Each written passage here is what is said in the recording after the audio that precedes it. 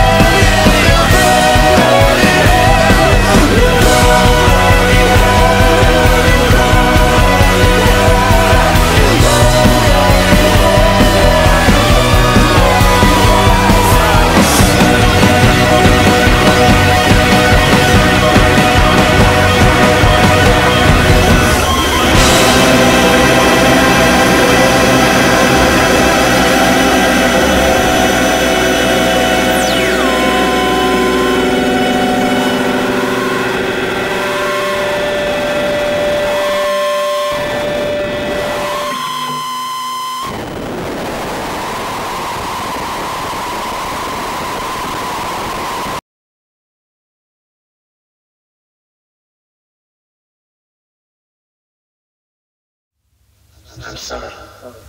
I don't want to be an emperor. That's not my business. I don't want to rule or conquer anyone. I should like to help everyone if possible.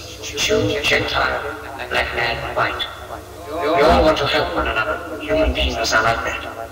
We want to live by each other's happiness, not by each other's misery. We don't want to hate and despise one another. In this world, there's room for everyone. Good earth is rich and can provide for everyone. The way of life can be free and beautiful. But we have lost the way. Greed has poisoned men's souls, has barricaded the world with hate, has goose-stepped us into misery and bloodshed. We have developed speed, but we have shut ourselves in. Machinery that gives abundance has left us in want. Our knowledge has made us cynical, our cleverness hard and unkind. We think too much, feel too little. More than machinery, we need humanity. More than cleverness, we need kindness and gentleness. Without these qualities, life will be violent, all will be lost. The aeroplane and the radio have brought us closer together. The very nature of these inventions cries out for the goodness in men, cries out for universal brotherhood, for the unity of us all. Even now, my voice is reaching millions throughout the world. Millions of despairing men, women, and little children, victims of a system that makes men torture and imprison innocent people. For those who can hear me, I say, do not despair.